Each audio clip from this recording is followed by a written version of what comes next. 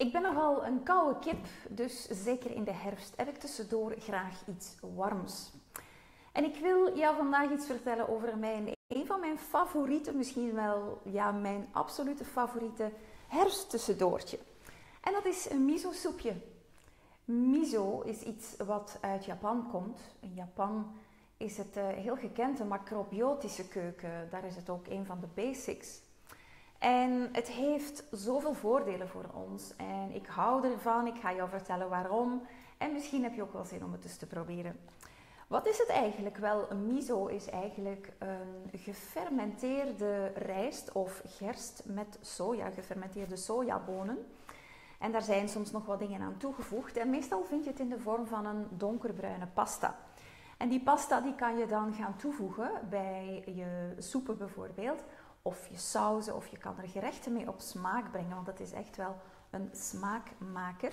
Je moet er alleen voor opletten dat als je het in je soep doet, en bijvoorbeeld er zijn mensen die het gebruiken in de plaats van bouillon, dat kan, maar je moet ervoor opletten dat het niet mee kookt. Dus uh, voeg het pas toe als je soep heeft gekookt. Um, ik hou van uh, deze vorm. Het is heel handig. Het zijn zakjes. Het uh, bestaat in verschillende smaakjes. Ik heb hier de traditionele, dus eigenlijk heel eenvoudig. Er, zijn alleen, er, is alleen wat, uh, er zijn alleen wat algen aan toegevoegd, wat alleen maar een bijdrage levert aan de voedingswaarde ervan. En ik neem het heel graag mee onderweg.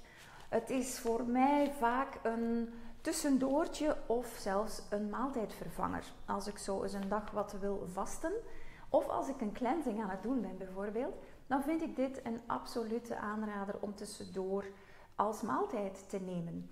Um, je vindt wel overal warm water en dan heb je zo een maaltijd. Bevat ook bijna geen calorieën. Dit zo één zakje, dus één portie, bevat maar 33 calorieën. Dus zelfs klanten van mij die de cleansing doen waarmee ik werk, die, um, ja, die zeggen van oh, ik heb graag zoiets warms en ik zit op mijn werk en ik kan niet echt soep maken of zo. Dan zeg ik van neem dit mee en drink een miso soepje.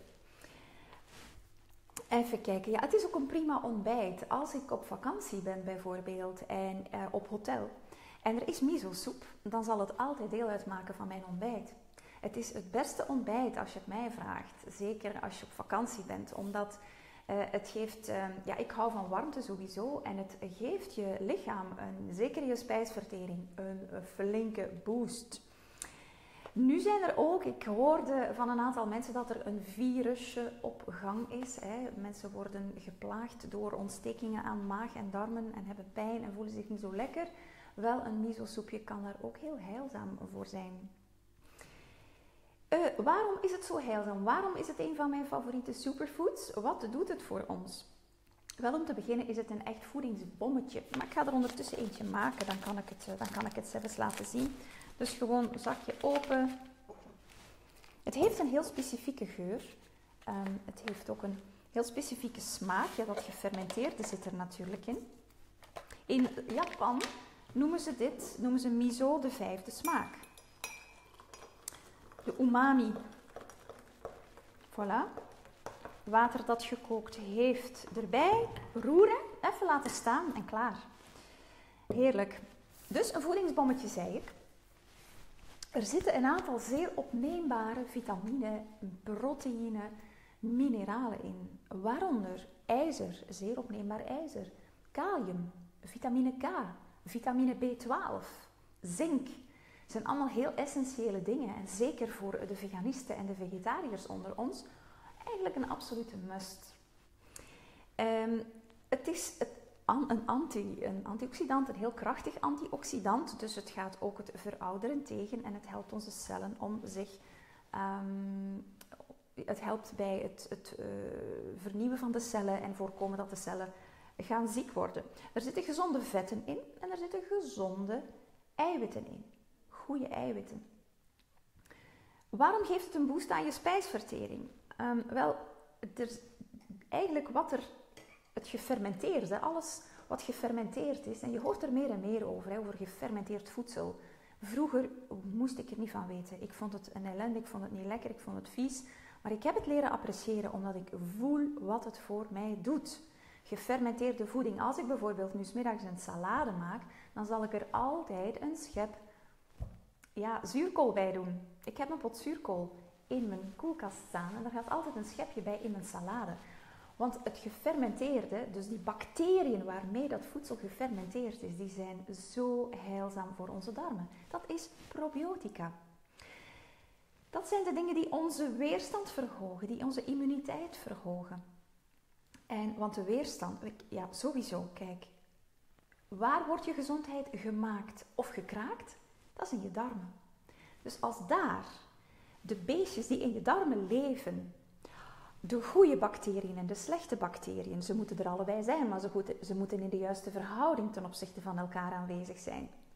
Dus wij voeden de goede, we voeren de goede aan, onder andere met gefermenteerd voedsel. Dus ook miso komt daarbij kijken. Um, ook omdat het gefermenteerd is, is het eigenlijk al een stukje voorverteerd. En allemaal voordelen de, uh, dus. Het is ook heel effectief bij lage bloeddruk. Ik heb vaak, als ik stress heb of als ik vermoeid ben, ehm, dan voel ik werkelijk dat mijn bloeddruk laag is. En dan drink ik een miso-soepje. Dan krijg ik die goede elektrolyten onmiddellijk opgenomen in mijn lichaam. En dan krijg ik echt dat energie-opkikkertje. Dus ook een, eh, een aanrader. En als je verkouden bent, dan is het eigenlijk goed om niet te veel te eten. Maar dan is dit echt superfood. Dan is dit zo lekker, zo makkelijk. Het geeft je ook een opkikkertje. En het voedt jouw lichaam zonder dat het je spijsvertering gaat overbelasten. En dat alle energie die jouw lichaam eigenlijk moet aanwenden om je terug helemaal op de been te brengen, dat dat verloren gaat aan het verteren van voedsel.